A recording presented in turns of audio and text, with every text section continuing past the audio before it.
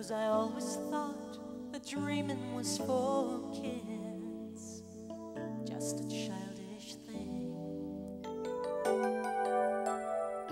And I could swear.